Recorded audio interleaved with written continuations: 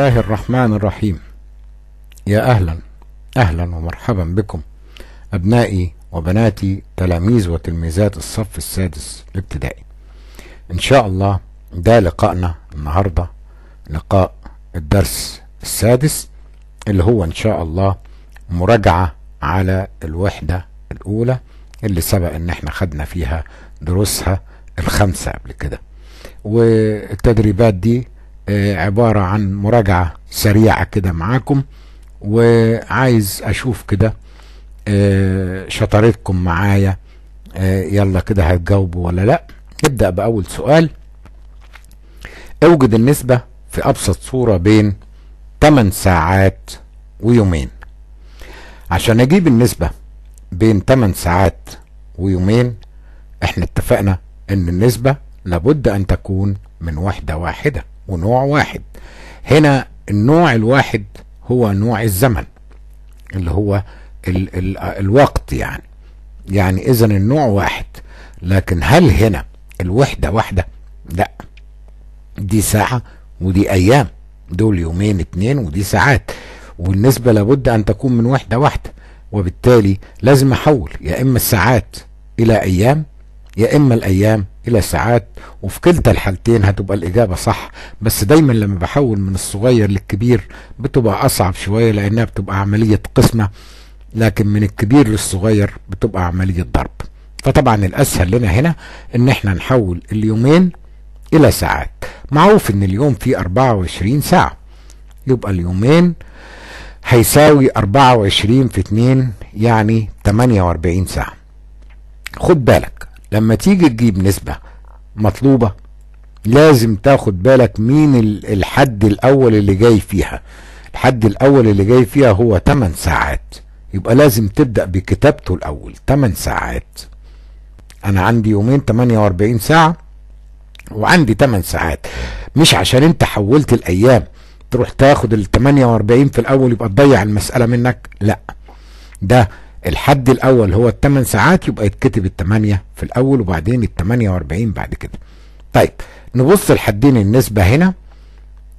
شايف إن ده عدد زوجي وده عدد زوجي لأن أحاده ثمانية يبقى هيقبل اسم على اتنين. آه ماشي صح.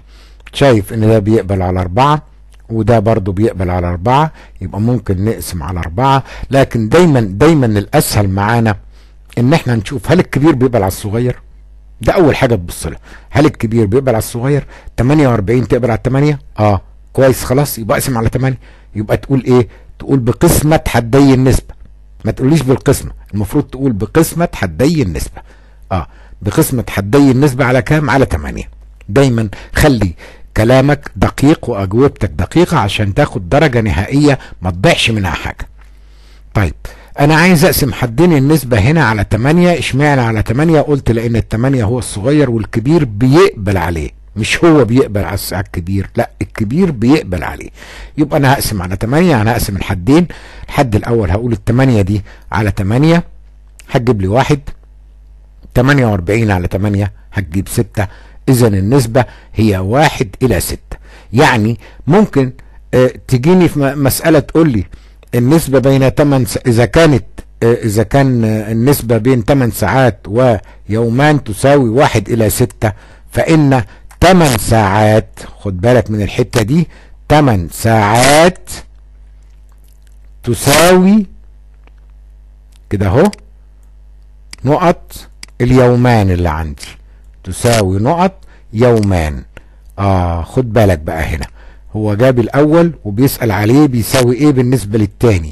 أنت عندك هنا قلنا إن ال ال ال الثمان ساعات واحد واليومين ستة. يعني واحد على ستة. يعني سدس.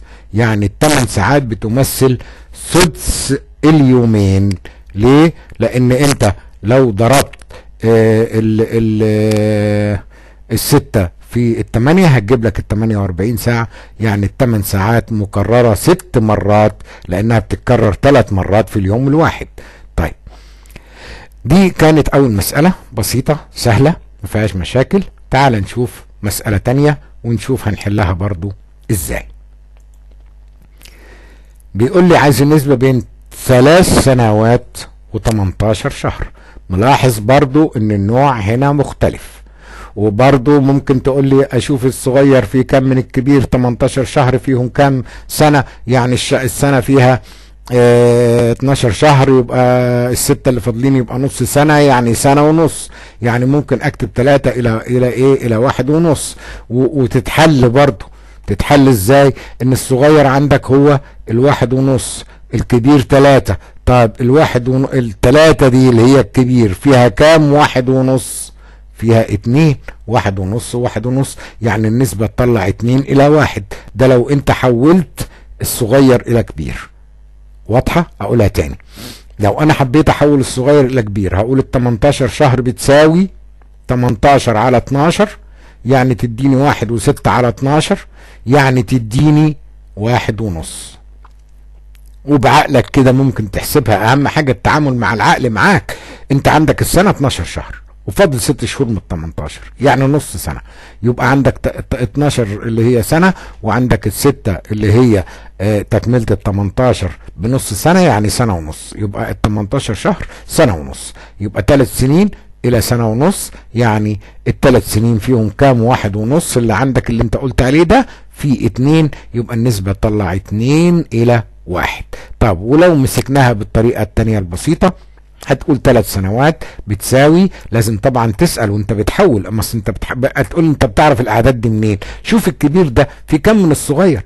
السنة فيها كم شهر؟ فيها 12 خلاص وانت عندك ثلاث سنين يبقى 3 في 12 12 في 3 تديك 36 شهر. برضه هنبهك مين اللي جه الأول؟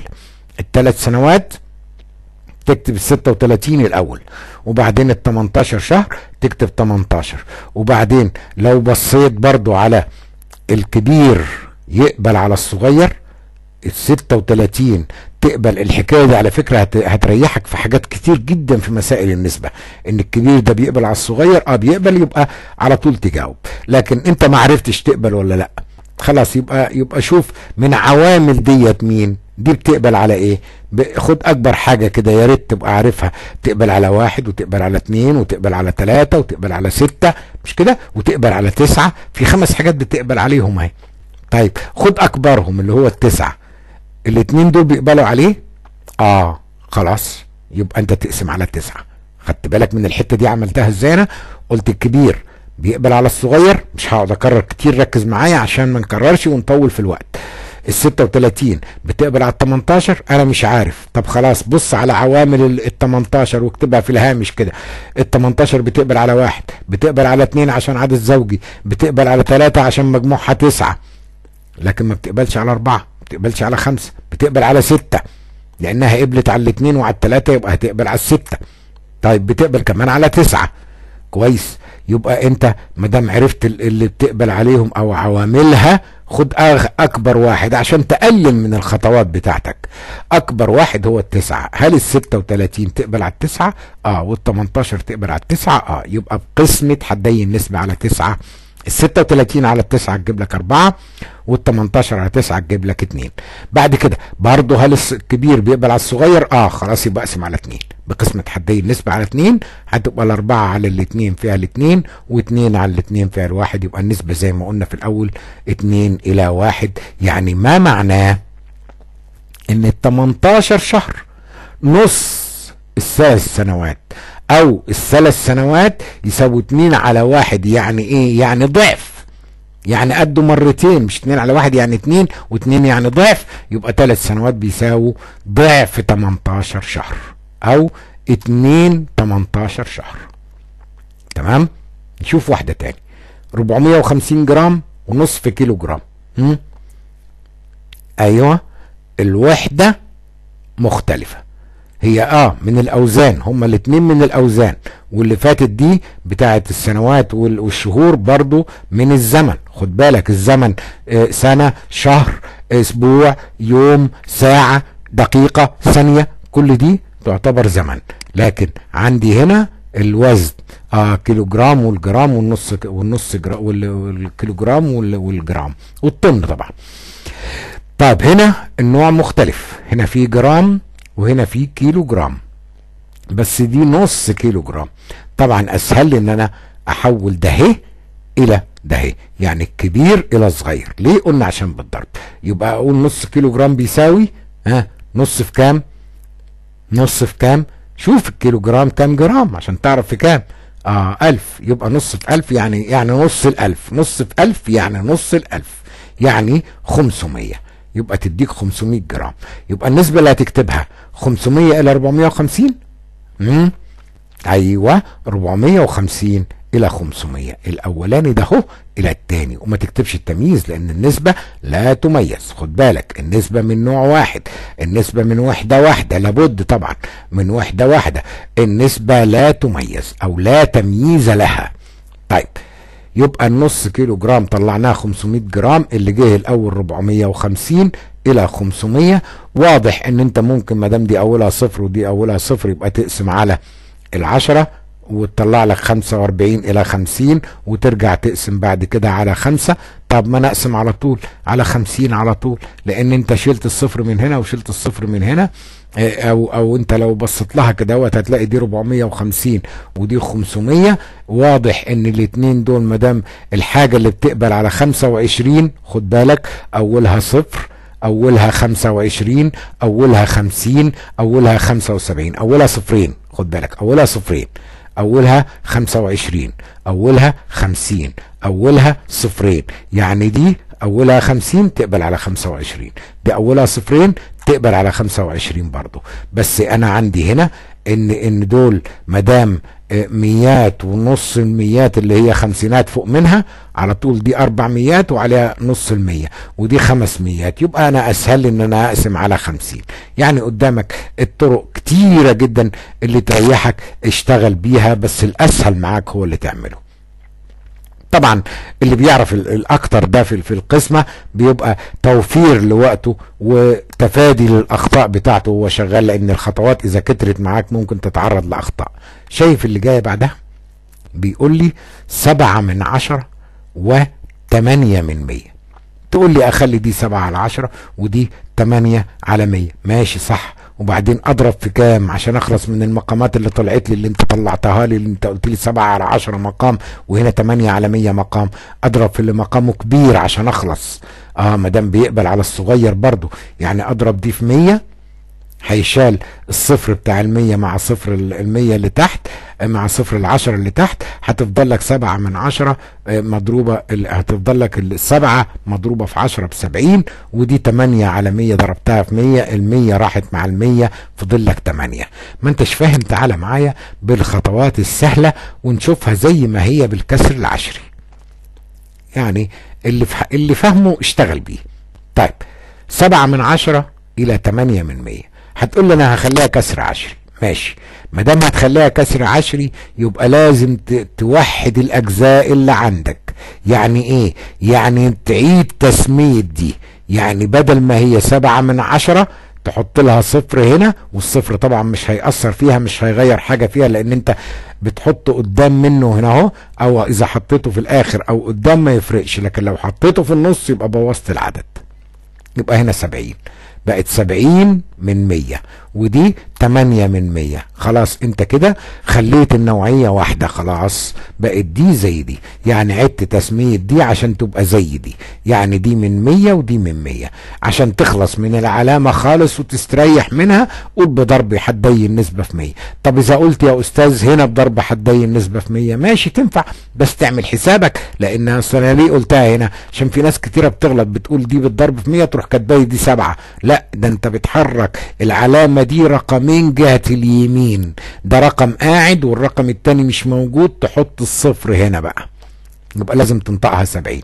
وإحنا الأفضل عشان ما ننساش وما نخطأش نعمل دي سبعين زي ما هي كده من مية ودي تمانية من مية. ما دام قلت بالضرب في مية يبقى خلاص العلامات اتشالت على طول وريحت دماغك لا حركت ولا عملت.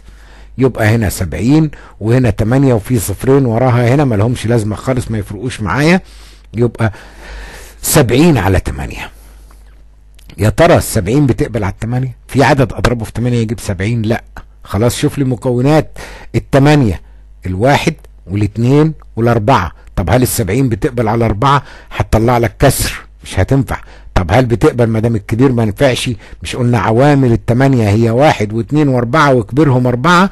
آه نشوفهم بقى الاتنين بيقبلوا على الاربعة ولا لا. هنلاقي الكبير ده ما بيقبلش على الاربعة لأنه هيطلع لي كسر. يبقى هناخد اللي بعد من الكبير على طول اللي هو الاتنين في العوامل بتاعتنا.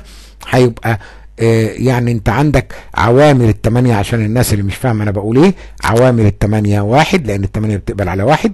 التمانية بتقبل على اتنين التمانية ما بتقبلش على تلاتة ما اكتبهاش التمانية بتقبل على الأربعة يبقى هنا أهو أربعة وبعدين التمانية بتقبل على نفسها. طبعا إحنا جربنا نفسها وقلنا السبعين ما بتقبلش عليها يبقى ناخد أول حاجة اللي هي الكبير ده أهو ونقول الس... طبعا التمانية ما دام ده عوامله يبقى لازم هيقبل عليها.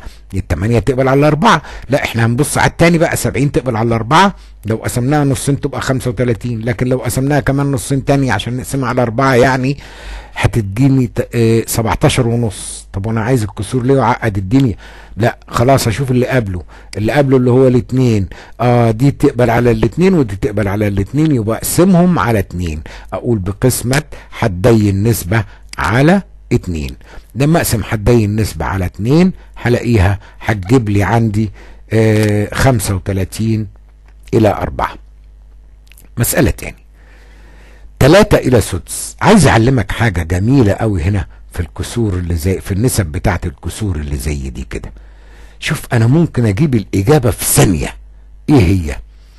انت لو عندك الأولانية فيها مقام والتانية فيها مقام يعني مثلا تلاتة عندك اهيت كده اهوت ولها مقام. المقام يعتبر واحد مش كده ولا لأ؟ طيب والتانية آه واحد على ستة. واحد على ستة. بص يا سيدي ببساطة شديدة خالص. شايف ده هو اللي هو الحد الأول ده اللي هنا؟ آه لو ضربته في ده هيطلع الحد الأول بتاع النسبة. تلاتة في ستة بتمنتاشر طيب والحد التاني واحد في واحد بواحد. يعني أنا بكتب الحد الأول عبارة عن الحد الأول ده هو أضربه في ده. يعني دي في دي اللي, أنتوا بتسموها المقص لكن لازم يكون لها مفهوم هنا هنقوله حالا دلوقتي. تلاتة في ستة بتمنتاشر إلى واحد في واحد بواحد. يبقى تمنتاشر إلى واحد. فهمنا دي؟ طيب كلام جميل.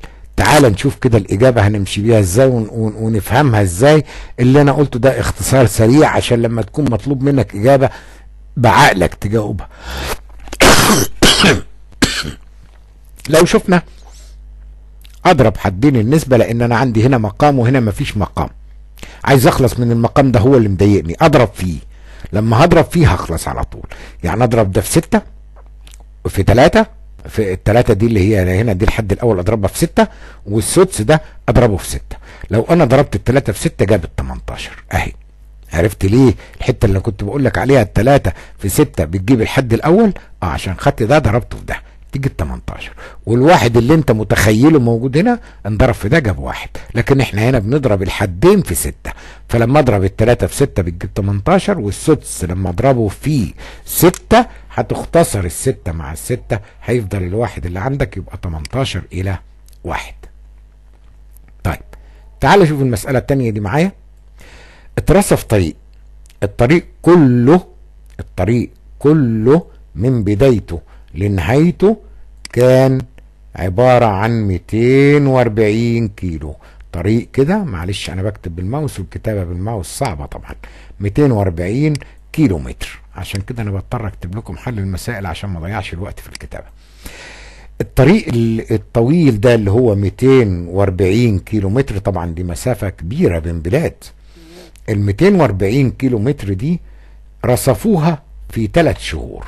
شهر خدوا لهم حتة منه وشهر تاني خدوا لهم حتة تانية وشهر تالت خدوا لهم الحتة التالتة. آه.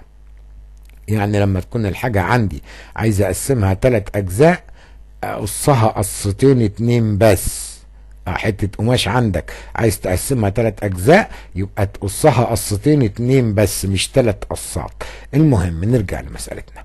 طيب الجزء الأول ده هو اترصف في الشهر الأول كان عبارة عن 38 من 100 ده عبارة عن 38 من 100 هي الحقيقة أصلا المسألة كانت نسبة مئوية بس أنا عشان يعني لسه ما تعرضتوش للنسبة المئوية حولتها إلى إيه؟ إلى كسر عشري والجزء الثاني ده كان عبارة عن 32 من 100 من الطريق يعني إيه؟ يعني المر في الشهر الأولاني عملوا 38% من الطريق كله يعني إيه برضو يعني لو الطريق كله 100 يبقى عملوا منه 38 بس والتاني عملوا منه 32 بس. ما قاليش بقى الشهر التالت ده كان كام من 100 طيب هنا بيسأل بيقول الأول نقرأ المسألة. اترصف طريق طوله 240 كيلومتر في 3 شهور. فإذا تم رصف رصف 38 من 100 منه في الشهر الأول و32 من 100 منه في الشهر الثاني كام كيلو متر تم رصفها في الشهر الثالث عايز الحتة دي اترصفت في الشهر الثالث كانت قد إيه؟ الطريق كله قد إيه؟ هتقول لي 240 كيلو متر أيوه أنا فاهم.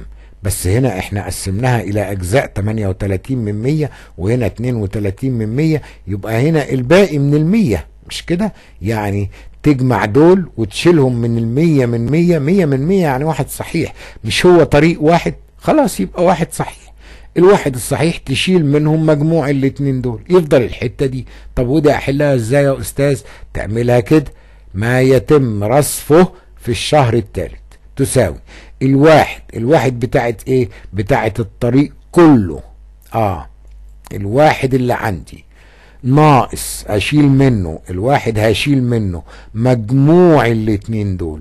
يبقى أنا لازم أجمع الاتنين دول الأول.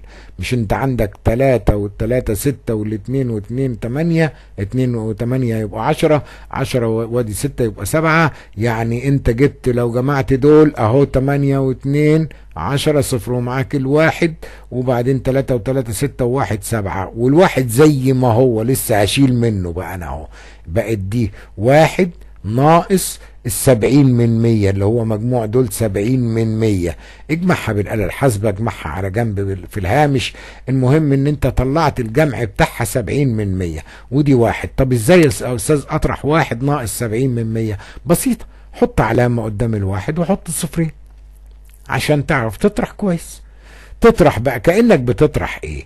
كأنك بتطرح مية ناقص سبعين. تديك تلاتين بس انت عندك من 100 يبقى 30 من 100 وتقول بقى انت ما إذا كنت عايز تقول صفر ناقص صفر يبقى صفر وهنا 10 ناقص 7 يبقى 3 وهنا وهنا صفر فاضل ناقص صفر يبقى صفر. المهم هتجيب لك 30 من 100 هتقول لي خلاص يبقى أنا حليت المسألة.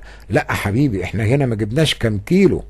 ده إحنا إحنا جبنا النسبة بتاعته اللي اتعملت. 30 من 100 يعني 30 على 100 من الطريق كله.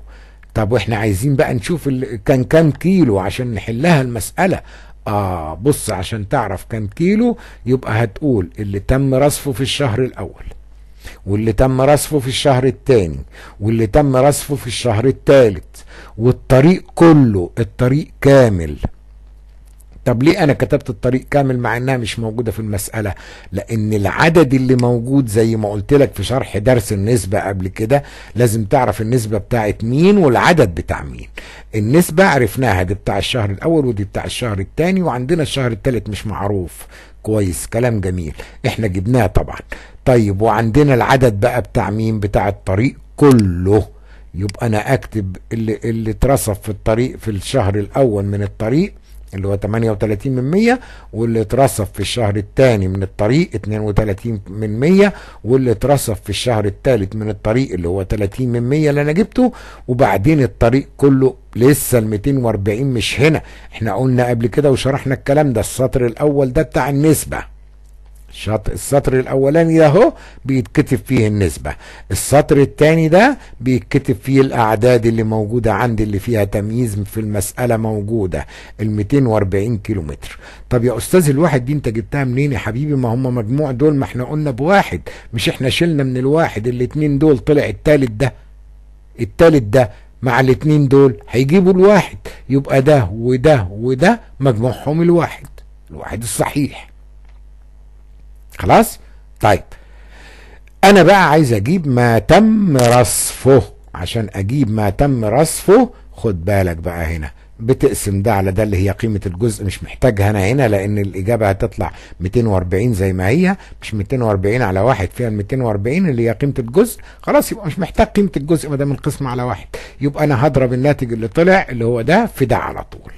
أهو في 30 من 100 يعني في 3 من 10 ما هو الصفر ملوش لازمة.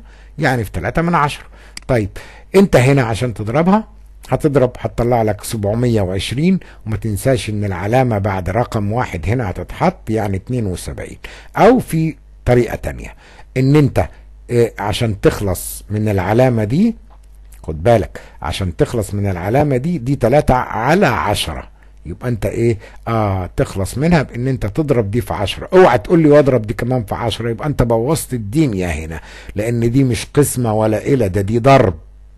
عشان تفضل موزونة إذا ضربت في ناحية تقسم في التانية. يعني تقسم دي على عشرة وتضرب دي في عشرة عشان تخلص من العلامة.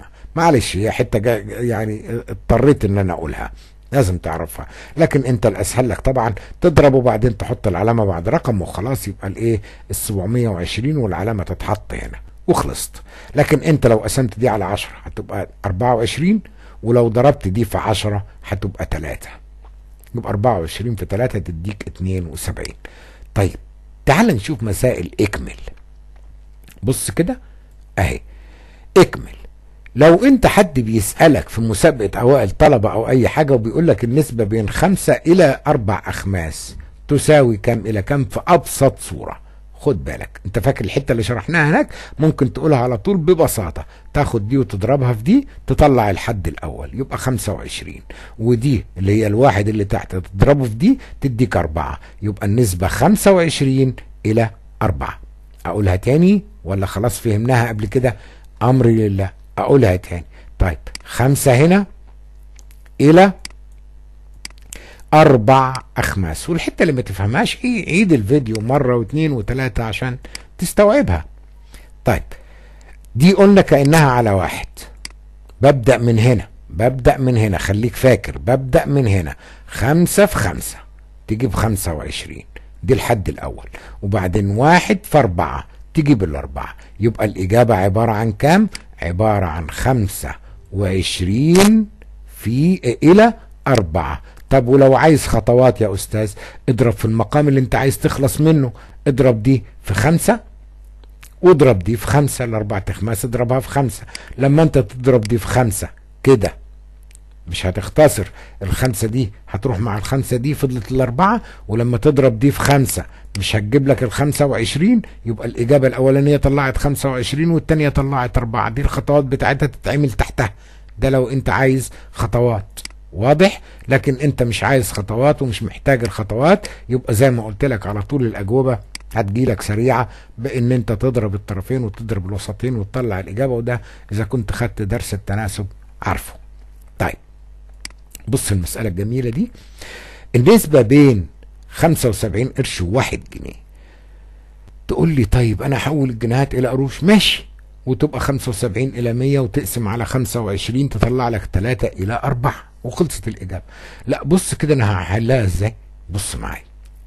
ال 25 قرش دي تعتبر قد إيه من الجنيه؟ مش الخمسة ال 25 عبارة عن ربع الجنيه تبقى ال 75 عبارة عن كام؟ ربع وربع وربع يعني تلات أرباع. يبقى الأولانية دي عبارة عن تلات أرباع الجنيه. الأولانية عبارة عن تلات أرباع الجنيه اللي هي ال 75 قرش. طب والواحد جنيه أكتب واحد ما هي دي بقت جنيهات صح تلات ارباع جنيه. أكتب واحد جنيه. آه ماشي بس إحنا عايزين بقى هنا اللي يحل لنا المسألة بسرعة إن أنت تعمل إيه؟ تقول أربع تربع. مش الواحد عبارة عن أربع تربع؟ كده أهو؟ آه. طيب كلام جميل. بص يا سيدي إذا كانت المقامات متساوية يبقى وأنت مغمض على طول النسبة بينهم تلاتة لأربعة من غير ما تعمل أي حاجة. يعني لما أقول لك النسبة بين خمسين إلى تلات تخماس. هتقول لي إيه على طول؟ أنت مش شايف لامح المقامات متساوية؟ يبقى الإجابة إيه؟ اتنين إلى تلاتة. خلصت الحدوتة. طيب هنا دي أربعة مقام وده أربعة مقام المقامين متساويين. يبقى النسبة تلاتة إلى أربعة. شفت أنا حليتها إزاي؟ يبقى أنا هقول إذا كان اللي عندي خمسة وسبعين قرش وواحد جنيه أخلي خمسة وسبعين قرش دي جنيهات يبقى تلات أرباع جنيه ودي واحد جنيه. تمام؟ طيب أنا بدل واحد جنيه هخليه أربع تربع عشان أتعامل مع أرباع زي دي. هتبقى أربع تربع وثلاث أرباع إلى أربع تربع يعني تجيب لي ثلاثة إلى أربعة ويبقى ده الحل بتاعها البسيط. طب أنا مش فاهم يا أستاذ خلاص يا سيدي مش فاهم اعمل الخطوات اللي أنت اللي قلتها لك قبل كده. يعني إيه؟ يعني حول واحد جنيه زي الخطوات اللي كنا بنحول فيها فوق ده أهي إنك تاخد الحاجة الأولانية وتحولها أهي كده وبعدين تعمل النسبة بعد كده. ماشي تعمل كده ماشي وتعمل كده ماشي اللي يريحك اعمله. طيب أنا هاجي هنا هقول النسبة بقى بقت كام إلى كام؟ 75 إلى 100 أقسم الحدين لأن ده أوله 75 والتاني أوله صفرين وقلنا اللي اوله 75 أو 25 أو 50 أو صفرين يقبل الاسم على 25 هتقسم ده على 25 هتجيب لك 3 وده على 25 تجيب لك 4 يبقى تطلع 3 إلى 4 زي ما قلناها من شوية. يبقى النسبة في أبسط صورة لأنها لا تختصر. كلمة في أبسط صورة يعني إيه؟ يعني لا يوجد بينهم عوامل مشتركة يعني لا اختصارات بعد كده ما فيش اختصارات بينهم. طب السؤال الثاني لو قال لي أنت عندك مربع خلاص أنا عايز أعرف النسبة بين محيط المربع وبين طول ضلعه. يعني المربع اللي عندي ده عبارة عن إيه؟ عبارة عن مربع أضلاعه مالها متساوية. أضلاعه متساوية. أهو لو أنا جيت رسمت المربع معلش قلت برضو برسم بإيدي مش بالمسطرة أو ممكن نرسمه بس هياخد وقت يعني. لو إحنا عملنا كده وجبنا دي كده وخدنا من النقطة دي ومشينا كده أهو لغاية النقطة دي كده وبعدين خدنا تاني من النقطة دي ونزلنا للنقطة دي كده أهو وبعدين خدنا تاني من النقطة دي كده اهو ورحنا لغاية النقطة دي. عشان كده الحاجات دي بتاخد وقت وعشان كده أنا بجيب لك الايه الدرس جاهز مكتوب جاهز ومرسوم جاهز. بس ما توقعتش ان انت هعمل لك مربع. طيب طلع عندي المربع اهو قدامي. المربع ده اضلاع متساوية. يعني مثلا لو ده آه 4 سنتي وده هيبقى 4 سم ده 5 سم هيبقى ده 5 سم هيبقى ده 5 سم هيبقى ده 5 سم كلمة عايز النسبة بين محيط المربع وطول ضلعه.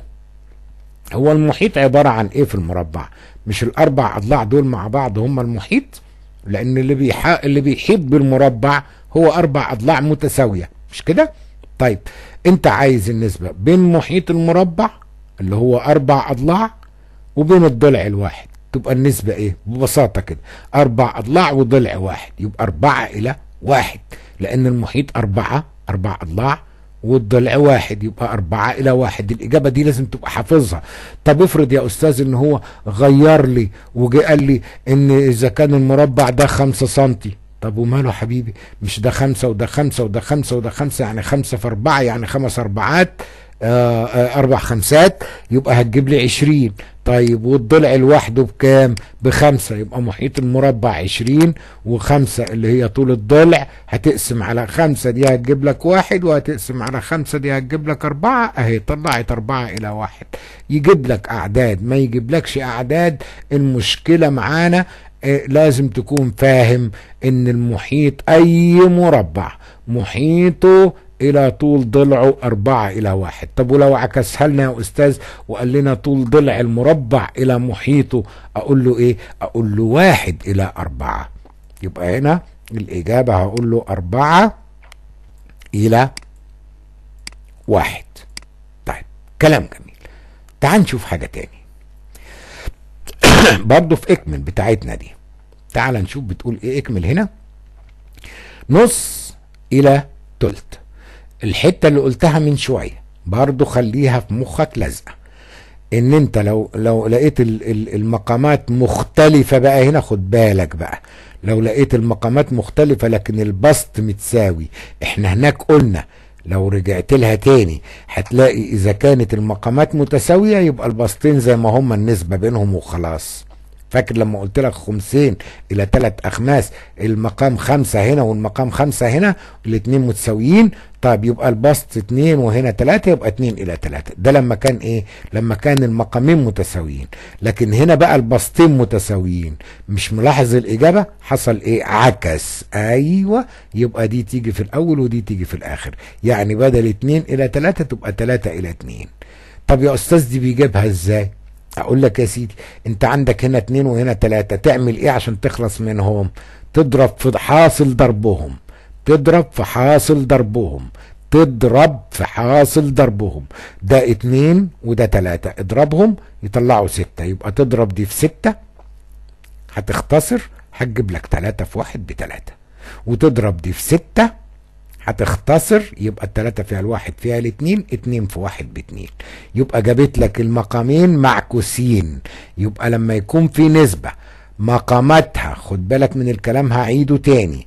نسبة بين كسرين مقاماتها متساوية يبقى النسبة بين البسطين هي النسبة بتاعتي زي ما هي عدلة أكتبها. آه لكن إذا كان بقى البسطين اللي متساويين يبقى النسبة هي معكوس المقامين تعكس المقامين. يعني دي تلاتة إلى إيه؟ إلى اتنين. طيب أنا قلت لما يكون البسط متساوي وقلت لما يكون المقام متساوي. لكن هنا بقى بص البسط والمقام مختلفين. خلاص اضرب. يبقى أقول الأولانية دي خليك فاكر اللي قلناه قبل كده. في دي تجيب الحد الأول. يعني واحد في سبعة. هتجيب لك إيه؟ هتجيب لك سبعة. خمسة في اتنين. هتجيب لك إيه؟ هتجيب لك عشرة. وصلنا لها إيه طب أنا أحلها إزاي؟ اضرب في حاصل ضرب الاتنين دول. خمسة وتلاتين. خمسة وتلاتين أضرب دي في خمسة وتلاتين تجيب سبعة بالاختصارات واضرب دي في خمسة وتلاتين تجيب خمسة بالاختصارات في اتنين. يعني العشرة. لكن هقول تاني. لو البسطين متساويين تعكس المقامين وتبقى هي الإجابة. لو المقامين متساويين يبقى البسطين زي بعض هما الإجابة. كلام جميل. طب لو البسطين مختلفين والمقامين مختلفين يبقى تعمل إيه؟ تجيب حاصل ضرب دول اسمهم الطرفين الأول ويبقى هما الحد الأول بتاع النسبة. يعني واحد في سبعة تجيب لي كام؟ تجيب لي سبعة يبقى أروح كاتبها. وخمسة في اتنين تجيب لي عشرة أروح كاتبها. معاك الحل اللي قلته لك بمخك تجيبه أو الحل اللي أنت عايزه بالخطوات زي ما شفنا الخطوات قبل كده. مش كل المسائل طبعا هنكتب فيها الخطوات ونضيع الوقت فيها. أنا عايزك دايما تعتمد على مخك لأن اللي بيحب الرياضة هو اللي بيشغل مخه بيفكر. آه إنما اللي بيكره الرياضة اللي عايز خطوات وخطوات وخلاص مش فاهم إيه اللي بيحصل فيها ما بيفكرش. عشان كده بتضيع مننا. آه درجات طبعا بتضيع. تعال شوف المسألة اللي بعدها بيقول إيه. إذا كان النسبة بين ألف إلى ب خمسة إلى ستة وب إلى ج تمانية إلى تسعة. هات لي بقى ألف إلى ب إلى ج خدناها قبل كده. أنت عندك ثلاث حدود ألف وب وج لكن تلاحظ إن الكلام اللي بيقوله في المعطيات أو أو اللي موجود في المسألة إن في حد متكرر. شوف الألف إلى الب وهنا الب إلى الجيم مين اللي متكرر؟ الب بالظبط خلاص يبقى تكتب. انت عرفت إن النسبة وانت ماشي كده بالترتيب. ألف إلى ب وبعدين اللي متكرر ب وبعدين ج. يبقى ألف إلى ب إلى ج. شوف في الحل كتبتهم في الأول أهو. ألف إلى ب إلى ج. وبعدين تشوف بقى هتقول إيه؟ هتقول ألف إلى ب بكام إلى كام؟ بخمسة إلى إيه؟ إلى ستة. طيب وبعدين ما فيش حاجة تالتة هنا. التالت ده ما فيش. ما, ما, ما عنديش. حط له شرطة. طيب وبعدين ب إلى ج. أدي الب وأكتبها فين؟ طيب التانية بتاعت الب أكتبها تحتها اللي هي 8 اهو الحد الأول هو الايه الب أهو ب إلى ج 8 إلى 9 يبقى الثمانية بتاعت الأول 8 والتسعة بتاعت الجيم اللي هي هنا. طب والألف يا أستاذ؟ الألف ما جاتش هنا المرة دي. حط لها إيه؟ حط لها شرطة. طب وبعدين؟ وبعدين بسيطة يا سيدي. أنت بقى بتبص على الاتنين اللي موجودين عندي اللي هم إيه؟ التمانية والستة. تحط لهم إيه؟ تحط لهم مستطيل كده هوت بمخك أو بالقلم وتشوف بقى العامل المشترك اللي بينهم إيه. شرحناها الحتة دي قبل كده. أنا ما بحبش على فكرة حكاية إنك تاخد دي في دي ودي في دي وبعدين دي في دي. ال- القصة دي لما يكون الاتنين متكررين في الأول بتبوظ معاك ما بتنفعش. لكن بتنفع بس مع النص. لا إحنا عايزين حاجة تنفع مع الكل مع الأول مع النص مع التاني اللي فيه الحدين موجودين. أشتغل بنفس الطريقة اللي أنا بقولها دي. قلت لك قبل كده بتعمل إيه؟ هذكرك. بتسأل نفسك الكبير كام؟ 8 يقبل على الستة؟ لا ما يقبلش. طيب اعمل إيه؟ اضربه في اتنين. يديك كام؟ يديك 16 تقبل على الستة؟ لا ما بتقبلش. طب اضربه في تلاتة. تلاتة في تمانية بكام؟ ب 24 تقبل على الستة؟ آه. يبقى خلاص هي الإيه؟ العامل المشترك بتاعي. أهو هو المضاعف المشترك بتاعي. هو ال 24 هروح كاتبه تحتهم. طب وبعدين قلنا بنقسم. 24 على اللي فوق الأول على ستة. تجيب كام؟ تجيب أربعة. دور على العدد اللي في نفس السطر واضربه فيه. هروح ضارب الأربعة في الخمسة. تروح ساقطة هنا عشرين. وضحت؟ وبعدين اقسم الأربعة وعشرين على التمانية. تجيب كام؟ تجيب تلاتة. دور على اللي موجود في السطر بتاعها تلاقي التسعة. اضرب التلاتة في تسعة تجيب لك سبعة وعشرين كده. وحط هنا إلى وحط هنا إلى واكتب له بقى النسبة بين ألف إلى ب إلى ج تساوي 20 إلى 24 إلى 27 تقول لي طب دي يا أستاذ ما تختصرش؟ لا الطريقة اللي أنا قلتها لك ودي لو مشيت بيها يبقى اللي بيطلع هو النهائي على طول من غير إجابة. لكن حكاية الضرب دي في دي وبعدين دي في دي وبعدين دي في دي اللي بيطلع ممكن يختصر بعد كده. لأن أنت لو بصيت لي دي هتلاقي الاتنين دول زوجي ودي ما هيش دي فردي. يبقى يبقى دول بيقبلوا على اتنين لكن دي ما بتقبلش. دي مجموعهم تسعة بتقبل على لك ودي بتقبل على تلاتة مجموعهم ستة لكن دي ما بتقبلش. شفت بقى إزاي؟ يبقى يبقى لازم تاخد بالك من اللي أنا قلته ده ان انت تضرب الاتنين دول تاخد إذا ضربت بقى يبقى هتضطر برضو تطلع وتطلع اختصارات لكن لو سألت الكبير يقبل على الصغير لأ اضربه في اتنين ب 16 يقبل على الصغير لأ اضربه في تلاتة ب 24 تقبل آه يبقى اكتب ال 24 وبعد كده تقسم ده على ده واللي يطلع تضربه في اللي قصاده على طول اللي هو الخمسة يديك 20 و24 على 8 هتطلع 3 3 في 9 تجيب لك 27 طيب بص للي معايا. إذا كانت النسبة 7 إلى 13 هي نفسها النسبة س إلى 52 عايزين نعرف س بكام؟ آه خد بالك. ما دام النسبة دي هي النسبة دي خلاص يعني يعني الحد الأول ده هو الحد الأول ده والحد التاني ده هو الحد التاني ده.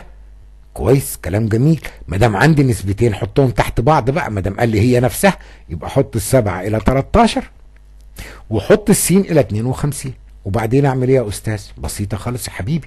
قول ما أعرفش أنا السين بكام ما أقدرش أقول سبعة أضربها في كام تجيب في تجيب سين لكن أقدر أقول ال 13 أضربها في كام تجيب 52 آه غلب غلبت خالص فيها يا سيدي بقالتك الحاسبة اقسم 52 على 13 تجيب أربعة على طول. يعني دي انضربت في إيه؟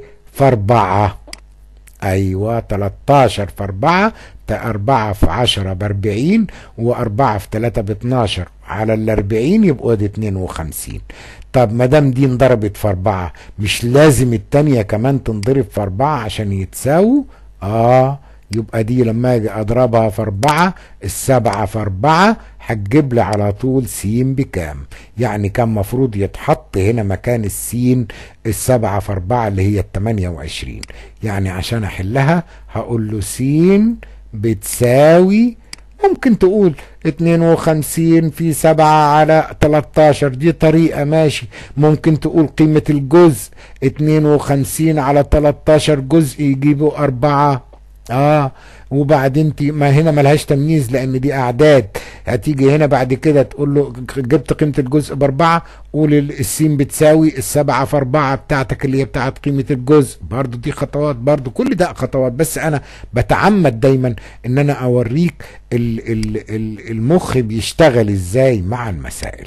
يبقى سبعة في أربعة ادتني الإجابة. سين اللي أنت عايزها يا عمي بتمانية. وعشرين. كلام جميل. طيب لو انت جيت شفت علامة صح أو خطأ شوف بقى العبارة الصحيحة اكتب لها صح والعبارة الخطأ اكتب لها خطأ. بيقول لي حدي النسبة اللي هو الحد الأول والتاني يكونان من نوع واحد ووحدة واحدة. أظن دي شرحناها قبل كده وسهلة وبسيطة يبقى أنا هقول له على طول ديت إجابتها إيه؟ صح. بالظبط كده. طب بص للي جاية دي إذا كان عرض المستطيل نص طوله عرضه نص طوله يعني أنا عندي الطول كده أهو بتاع المستطيل والعرض نصه لغاية هنا مثلا كده. آه يعني إيه الكلام ده؟ العرض نص الطول؟ آه يعني يعني لو العرض واحد يبقى الطول اتنين. ده معناها كده؟ مش كده ولا لا؟ لأن هو بيقول لي عرض المستطيل نص طوله. يعني ده لو خد واحد ده ياخد اتنين. تقول لي طب ما ده لو خد اتنين ده ياخد اربعة. ماشي لكن إحنا أبسط حاجة عندك اللي هي واحد وهنا اتنين. طب وده هيبقى كام؟ مش هيبقى واحد برضو آه هيبقى واحد برضو ده هيبقى كام؟ مش اتنين برضو آه ماشي. خد بالك بقى. بيقول لك طيب إذا كان عرض المستطيل نص طوله يعني دي واحد ودي اتنين فإن طوله يكون نص محيطه. هل صح الكلام ده؟ هل الطول ده هو نص المحيط؟ طب تعالى نحسبها سوا كده مش اتفقنا ان دي هتبقى واحد ودي هتبقى اتنين؟ طب المحيط بتاعه مش اتنين زائد اتنين باربعة وواحد زائد واحد باتنين يبقوا اربعة واتنين يبقوا ستة؟ أو تقولها بطريقة تانية الطول زائد العرض في اتنين اتنين زائد واحد بتلاتة واضربها في اتنين تديني ستة. يعني اذا المحيط كله هيطلع ستة. المحيط هيطلع ستة والطول مطلع اتنين. مش كده ولا لأ؟ لكن هو بيقول لي إن الطول نص المحيط. إزاي؟ الطول اتنين والمحيط ستة. هل ده يبقى نص؟ لو كانت دي تلاتة كان معلش. تلاتة على ستة يعني نص يعني تلات أسداس بنص. لكن دي اتنين على ستة. اتنين على ستة يعني على الاتنين فيها الواحد ودي على الاتنين فيها التلاتة. يعني جاب التلت مش كده ولا لأ؟ يبقى هيكون هنا طوله ما يكونش نص محيطه لأ يبقى تلت محيطه. تلت محيطه. الطول ده أهو تلت المحيط. آه لأن الطول اتنين والمحيط حسبناها ستة. يبقى اتنين بالنسبة للستة اتنين إلى ستة أو اتنين على ستة تختصرها تجيب لك التلت. يبقى أقول له المسألة دي بقى إيه؟ أقولها له المسألة بتاعتك دي يا عمي انت جايبها لنا غلط بتضحك علينا يبقى إحنا هنا هنحط علامة غلط على المسألة بتاعتك دي. طيب كلام جميل. بيقول لي النسبة بين خد بالك من دي كمان النسبة بين 400 سنتي 400 سنتي و6 متر. بتديني كام؟ 2 إلى 3 صح ولا غلط؟ تعال نفكر سوا. مش انت لو خليت دي سنتيمترات هتبقى 600 مش كل متر في 100 سنتي هيبقى 400 إلى 600 هتشيل الصفرين مع الصفرين. يعني قسمت على 100 يعني كلمة تشيل الصفرين مع الصفرين يعني قسمت على 100 هتديك 4 إلى 6 وهو جايب 2 إلى 3 ها؟ هتقول لي غلط؟ لا. اصبر اصبر. ده دي 4 إلى 6 مش يتقسموا على 2 دي تتقسم على 2 ودي تتقسم على 2 الأربعة على 2 مش هتجيب 2 والستة على 2 مش هتجيب 3 آه. طب خلاص يبقى جابت 2 إلى 3 لو انت حلتها بالخطوات هتقول 6 متر يساوي. 6 في 100 يساوي 600 سنتيمتر. واللي جاي الأول 400 سنتيمتر تعمل 400 إلى 600 وتقسم على 100 تديك 4 إلى 6 تقسم على 2 تديك 2 إلى 3 يبقى الإجابة بتاعته أو اللي هو الحل اللي هو جايبه ده حل إيه؟ صح. بالظبط كده. طب خد بالك. عندي قطار. القطار بيقطع مسافة 160 كيلومتر في ساعتين. عايزين نحسب معدل سرعة القطار. طبعا هنا خدناها قبل كده عشان أجيب معدل سرعة القطار. أسأل نفسي الأول أقول كم كيلو متر كل ساعة؟ ولا أقول كم ساعة في كل كيلو متر فاكرين الحتة دي؟ آه لما اتكلمناها في الدرس اللي فات لما اتكلمناها بتاعت المعدل. لا الصح إن إحنا نقول كيلو متر في كل ساعة. يعني معناها دي الأول ودي التانية. يعني عشان أجيب المعدل أقول 160 على كام؟ ها؟ خد بالك كلمة ساعتين دي. على كام ال 160 على 2 يعني هتجيب لك إيه؟ اقسمها هتجيب لك 16 على 2 فيها 8 والصفر ينزل يعني 80 كيلو متر لكل ها ساعة. بالظبط. خد بالك المسألة ما خلصتش.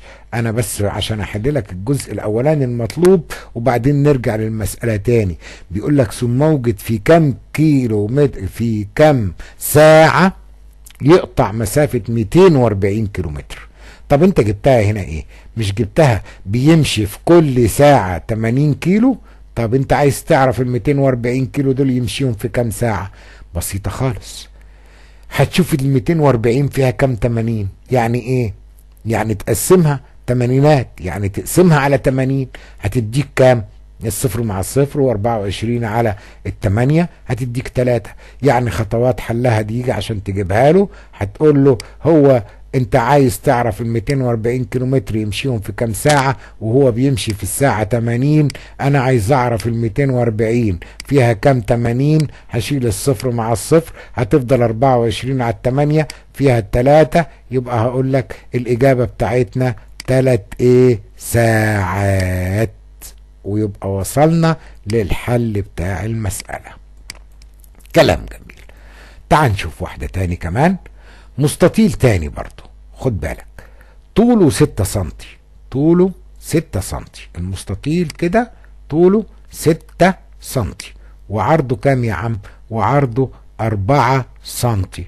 طيب ماشي هقول ده ستة سنتي وده أربعة سنتي. إيه بقى عايز أنت بعد كده؟ هات مساحته وبعدين هات النسبة بين الطول والعرض. جميل. مساحته. انت مش حافظ القانون بتاع مساحة المستطيل؟ خدتها قبل كده. الطول في العرض يعني ستة في أربعة. تديك كام؟ تديك أربعة وعشرين إيه ها؟ أربعة وعشرين إيه ها؟ أيوة. سنتيمتر مربع. اللي نسي وما قالش كلمة مربع تضيع منه درجة في المسألة لأن أول ما تسمع كلمة مساحة لازم تقول مربع ودي هنتكلم عليها في الهندسة بعد كده. آه مربع على طول. طب عايزين النسبة بين الطول إلى العرض يعني كام لكام؟ يعني ستة إلى أربعة. أظن بسيطة خالص لما تحط ستة إلى أربعة وتختصر كده على الاتنين فيها التلاتة وكده على الاتنين فيها الاتنين يعني النسبة تجيب كام إلى كام؟ تلاتة إلى اتنين. جميل. طيب تعال نشوف اللي بعدها. آه نشاط جميل حلو ظريف. يعني هو موجود في كتابك الحقيقة بس أنا غيرت في الأعداد بتاعته. عندك حتة ورقة قصتها كده بمنظر ده زي ما أنت شايف عبارة عن مستطيل طوله 30 سنتي وعرضه 20 سنتي. يعني القطعة كلها أهي دايما الهامش مهم قوي معاك عشان تريح دماغك. انت عندك القطعة كلها مش فيها طول وفيها عرض وفي محيط وفي مساحة؟ مش كده ولا لأ؟ ما دام ده شكل مستطيل المستطيل له إيه؟ له طول وعرض وله محيط وله مساحة. طب طول القطعة كام سنتي؟ على فكرة اسمه طول عشان هو الأطول. آه 30 سنتي. طب وعرضه كام سنتي؟ 20 سنتي. طب المحيط كام؟ مش بتقول الطول زائد العرض في اتنين يعني تلاتين زائد عشرين يبقوا خمسين في اتنين يديك مية سنتي. آه خد بالك برضو حتة المحيط دي دي ما فيهاش سنتيمتر مربع دي سنتيمتر بس. ليه؟ لأن انت لو قطعت المستطيل بتاعك من هنا ورحت فرده كده اهو هتلاقي حتة تلاتين وحتة عشرين وحتة تلاتين وحتة عشرين. آه طول وعرض وطول وعرض. مش كده؟ فردتها كده. أهي دي 30 ودي 20 يبقوا 50 ودي 30 ودي 20 يبقوا 50 يعني دول نص المحيط اللي هي 30 زائد ال 20 واتكررت مرة تاني يبقى 50 في 2 تديك 100 طب والطول في العرض يعني إيه؟ في إيه؟ يعني 30 في 20 يعني 600 600 إيه برضو شايفها مكتوبة؟ آه 600 سنتيمتر مربع عشان دي مساحة. طيب جيت بالمقص وقصيت الحتة دي.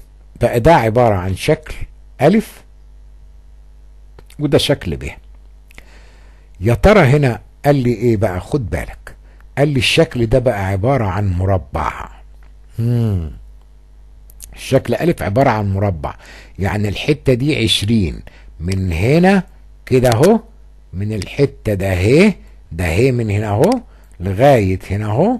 عشرين سنتي. طب مش هي دي كلها كانت تلاتين؟ آه تبقى دي كام؟ مش تبقى عشرة سنتي؟ آه كلام جميل. طب هي مش دي عشرين؟ آه تبقى دي كام؟ مش تبقى عشرين برضو؟ آه زي اللي هناك بالظبط. طيب واللي قصادها دي كمان تبقى كام؟ آه تبقى برضو عشرين سنتي. جميل كده مظبوط. واللي فوق دي زي ما قلنا الحتة الصغيرة دي 10 سنتي. وزيهم بقى اللي تحت ده بقى 20 سنتي. وده بقى 10 سنتي الحتة الصغيرة اللي فاضلة هنا 10 سنتي. اهو عشان تبقى عارفهم بس كلهم قدامك.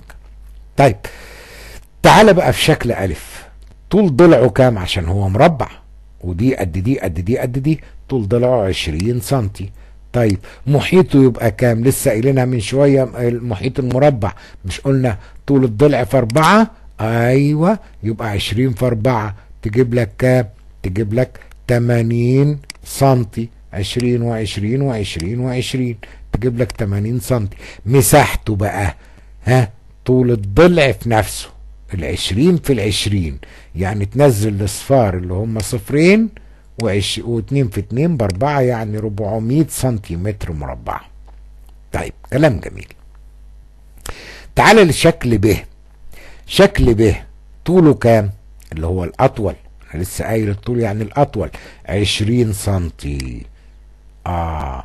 طب وعرضه كام؟ أهو الحتة الصغيرة دي. ما ده العرض وده الطول. عشرة سنتي.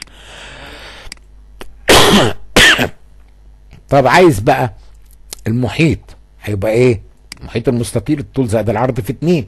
يعني عشرين زائد عشرة بتلاتين. أضربها في اتنين تديك ستين. يعني محيطه عبارة عن ستين سنتيمتر. طب مساحته مش طوله في عرضه؟ عشرة في عشرين بكام؟ بميتين سنتيمتر. كلام جميل. المعلومات اللي انت جبتها دي هنحتاجها هنا بقى. تعال. بيقول لي طول القطعة إلى عرضها. القطعة كلها مش كان طولها 30 وعرضها 20 يعني 30 إلى 20 يعني الإجابة تطلع كام؟ ها؟ هتشيل صفر مع صفر يبقى الإجابة 3 إلى 2 كلام جميل. طيب محيط الشكل الأولاني ده اللي هو ألف لمحيط القطعة كلها. محيط الشكل اللي هو ألف كام؟ 80 ومحيط القطعة كلها كام؟ 100 يعني 80 إلى 100 يعني هتشيل صفر مع صفر بقت كام؟ أربعة إلى عشرة. أربعة إلى عشرة. تقسم على اتنين. تديك كام آه تمانية إلى إلى إلى عشرة آسف.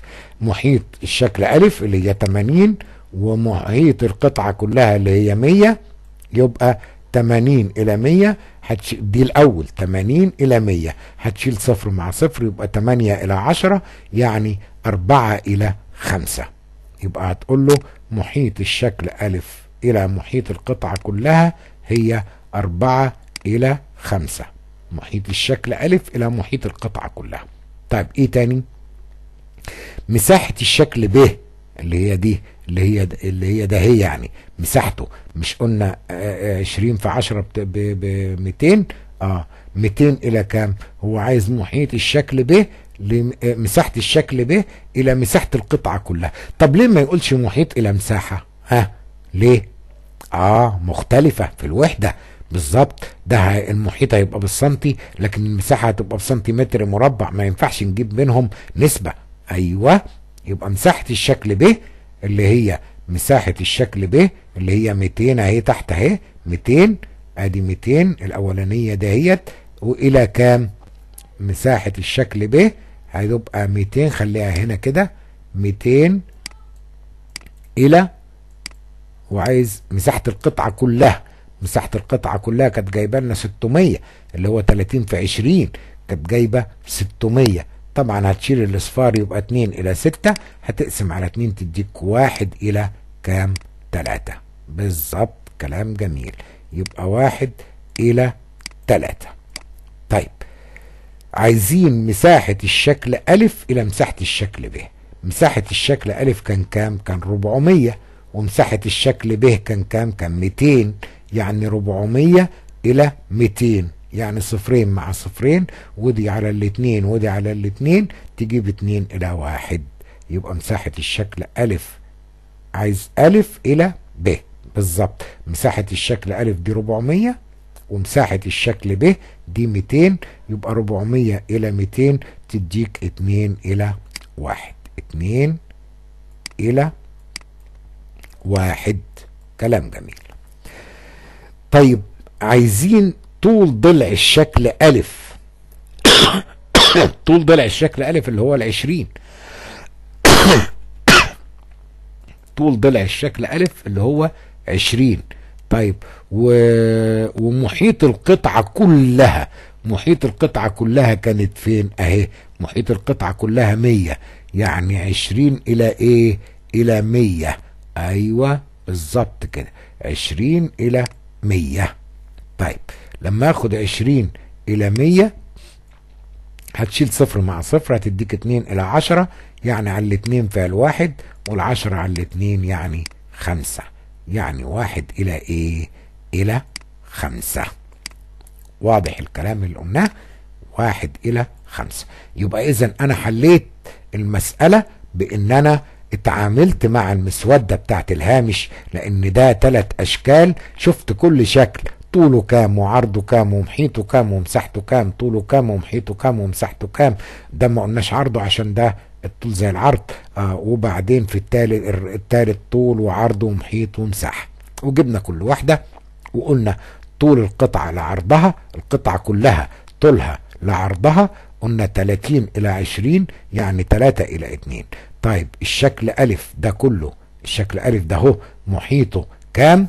قلنا محيطه عبارة عن العشرين في أربعة بتمانين ومحيط القطعة كلها اللي هي كانت مية يبقى تجيب لي أربعة إلى خمسة.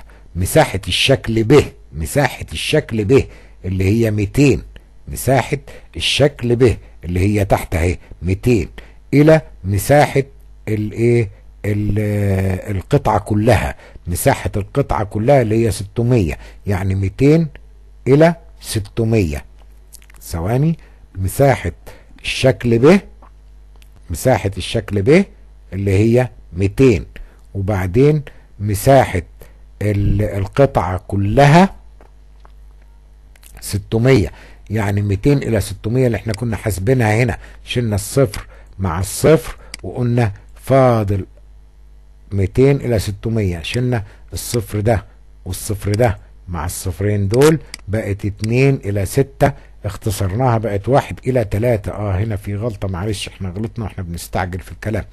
طيب يعني هقولها تاني. مساحة الشكل ب اللي هي عشرة في عشرين اللي هي ميتين. ده مساحة الشكل ب إلى. إلى إيه؟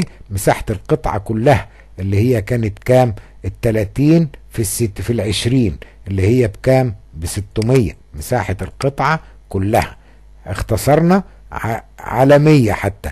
هتبقى فيها الاثنين وهنا فيها الستة وبعدين تديك هنا واحد وتديك هنا تلاتة. آه إحنا قلناها بس أنا عشان كتبت ستة هناك فنزلتها ستة لكن هي تلاتة. الصح بتاعها تلاتة. آه يمكن أنتوا خدتوا بالكم من الحتة دي. كويس إن إحنا رجعناها يبقى هنا تلاتة. واحدة إلى تلاتة واحد إلى تلاتة طيب مساحة الشكل ألف إلى مساحة الشكل ب. مساحة الشكل ألف 400 ومساحة الشكل ب 200 يعني 4 إلى 2 يعني 2 إلى 1 بالظبط كده. طب طول ضلع الشكل ألف طول ضلع المربع اللي هو 20 طول ضلع المربع اللي هو 20 إلى محيط القطعة كلها. محيط القطعة كلها كانت 30 زائد 20 ب 50 في 2 ب 100 يعني 20 إلى 100 على 20 تديك واحد على 20 تديك خمسة يبقى واحد إلى إيه؟ إلى خمسة. تمام. يعني أتمنى إن شاء الله أن أنا أكون قدرت أوصلكم المعلومات السريعة البسيطة اللي أنا قلتها لكم دي وإن شاء الله لنا لقاءات تانية هنتعامل فيها مع الدروس والمراجعات عشان نستفيد بكم التمارين المتنوعة المختلفة. وأرجو أن أنتوا تدخلوا على القناة بأن أنتوا تضغطوا على اشترك اللي فوق الفيديو. هيدخلك على القناة. هتلاقي كلمة اشترك وإذا كان اليوتيوب بتاعك بالإنجليزي هتلاقيها كلمة مكتوبة بالإنجليزي اضغط عليها. إذا كانت الإيميل بتاعك مفعل خلاص يبقى أنت اشتركت وخلصت القصة. إذا كان الإيميل مش بتاعك مش مفعل على جوجل يبقى هيدخلك على إن أنت تكتب الإيميل وتكتب الباسورد بتاعه. بعد كده خلاص أنت اشتركت في في في, في القناة بتاعتي. هيجي لك على طول ال ال كل درس انزله هيجي لك على الايميل بتاعك ان في درس نزل عشان خاطر تتابعه. واتمنى لكم التوفيق حبايبي ودايما في تقدم وازدهار إن شاء الله ومتفوقين دائما و إذا كان في أي استفسار أو أي سؤال تحت الفيديو اكتبه. هتلاقي الفيديو قدامك تحت منه كده أهوت هتلاقي في مكان تكتب فيه ال ال السؤال اللي أنت عايزه أو الاستفسار اللي أنت عايزه عشان أعمل حسابي وأجاوبك عليه في اللقاء التالي إن شاء الله. وأتمنى لكم التوفيق وفي رعاية الله. والسلام عليكم ورحمة الله وبركاته.